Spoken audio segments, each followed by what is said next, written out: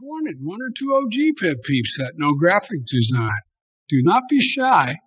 Speak up or wave your hand above your head like you just do not care. And it does not matter who you voted for or what closet fetish you enjoy.